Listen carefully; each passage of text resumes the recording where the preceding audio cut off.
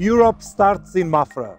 Here you can visit a UNESCO World Heritage Site, the Royal Building of Mafra, which is a palace, a basilica, a convent, a garden and a hunting park. This monument is the splendor of the Baroque heritage in Portugal.